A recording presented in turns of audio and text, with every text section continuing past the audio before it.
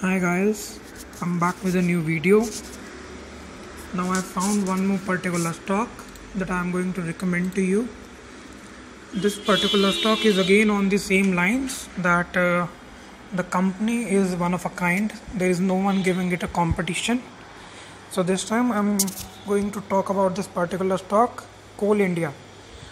It's not a new company, it's very old, it's a brand in itself the reason being that I've selected this particular stock once again for long term portfolio is that uh, there is no competition to this particular company.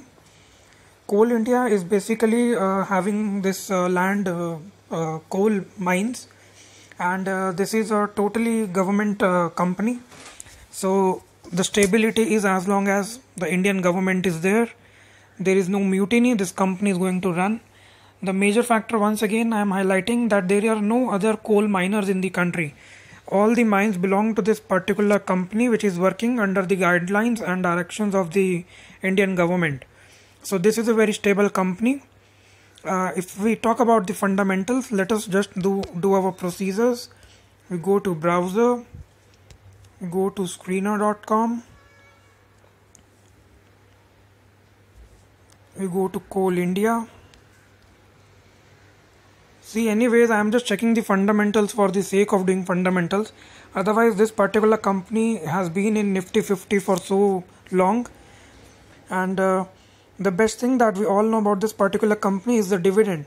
It gives huge amount of dividend every year. I mean, if five years back somebody would have bought it, okay, let us just go by the facts, how much dividend it has gone. That will itself uh, tell us the story.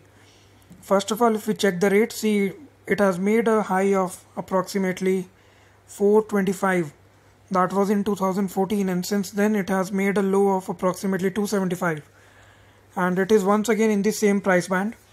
So that's not a problem. That's not a problem because we see that previously it was 225 and made a jump to 425 so see the number of uh, benefits pros that company is virtually debt free for a uh, government company to be debt free is a big thing that they are not taking too many loans. They don't have to uh, repay money all they have is good amount of uh, cash in hand and everything. That is why the dividend is good.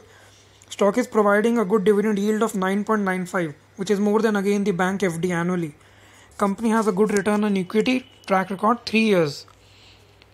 Okay? So company has been maintaining a healthy dividend payout of 112% okay? Only two cons. That company has delivered a poor growth. So that is because it is a government company. It is more supposed to be growing slowly but consistently you don't expect downfalls in a good uh, company. So they are growing slowly but they are growing. They're not falling down.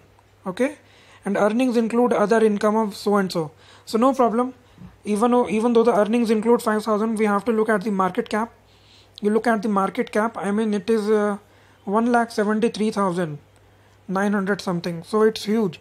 So just 5000 uh, crores coming in from other income is not a problem so they are basically getting their income from whatever sales of coal and everything mines. Now if we do the peer comparison like similar companies that are doing probably the similar things you first of all look at the pe that uh, there are four other small companies that are virtually on the uh, on the verge of extinction. That is alpha high tech j energy foundry fuel and exotic coal. So basically coal india has beaten all these uh, other companies and that is why this particular company is having the monopoly now. If you consider the other companies that is gmdc it is having pe of 13 point something and cabra commercial a very penny stock of only 13 rupees market price and having pe 4.49 so that is something innumerable we don't even have to check. Other than that you compare the market cap the other company GMDC is having the market cap lesser than the other income of Coal India. That was approximately 5000 so this is again a very small size company compared to Coal India. So the market cap says everything that this particular company is having the biggest hold in coal mines in our country. You compare the dividend yield that is approximately 10% the other one is 2 so that is again nothing. So since it is the single company operating in this particular section so the profit will keep on coming down keep on going up. So we don't have to be worried about that. All we have to see is that this particular company is consistent and the dividend yield is very high. Now you see the sales it must be fluctuating. See 20 18 16 18 21 19 17 19 20 20 16 20 so that is again not a cause because it is maintaining. Okay so now if we compare this particular thing uh, the profit before tax from 2014 so it is in positive. It is fluctuating again no problem. I'll tell you the basic reason why the profit fluctuates so much. That sometimes it is 3000 sometimes it is 5000 6000 now that is because see every quarter the consumption of coal changes. In summers you need more electricity and uh, we have so many thermal power plants in India still operating on coal. So when summers are approaching the demand for coal uh, increases okay so but supply is like practically almost constant. So the price shoots up and the profits increase. In winter we don't need too much of coal we don't so because we don't need too much of electricity. So the uh, demand and supply it's a demand and supply game. That is why the price is uh, vary so much the profits vary so much. But the company is profitable so that is not a problem. Being the single company it is maintaining the profits. Now this is like the annual results. The same thing if we compare here sales will vary right? But as you can see the sales are increasing. See from the figure of 2006 we can see 30000 34 40 44 50 62 68 70 74 78 76 so basically it has moved from 30000 to 70 so that is like more than double in around 10 years okay? And similarly operating profit from 7000 2000 okay varying. That was a dip in 2008 2009 so stock must have fallen. Then again see from 2000 it has moved to 10000 in in just one year from 2009 to 2010 big jump. Then 15 18 17 17 18 14 so it's more or less like 16 17 18 15 16 uh, range right now. No problem. And then the net profit again it is again uh, profitable consistently. So basically this stock is growing uh, it's basically multiplying your money. Now one more thing that we need to see is returns on equity now when we see the returns on equity if somebody would have invested their money 10 years back it has given an annual uh, I mean, return of say 34%. So that is like on the current rate of FD, which we compare like approximately 8. So approximately 8, then that is like almost 4 times uh, annually. So this is a very good return, a hefty return if I have to say. Now one more thing I'll show you the amount of dividend that I was talking about. Let's go to this particular website Money Control and uh, the face value of this particular stock is 10.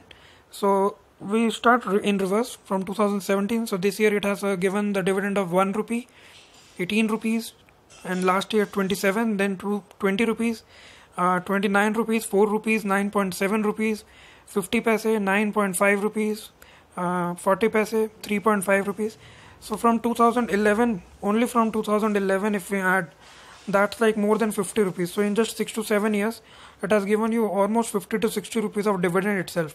No i mean i think i can see lots of figures in 20 that is like 20 20 20 60 that is like more than uh, 80 to 90 so if the stock is currently trading 280 and somebody would have bought it back then so it's like 90 rupees of dividend only.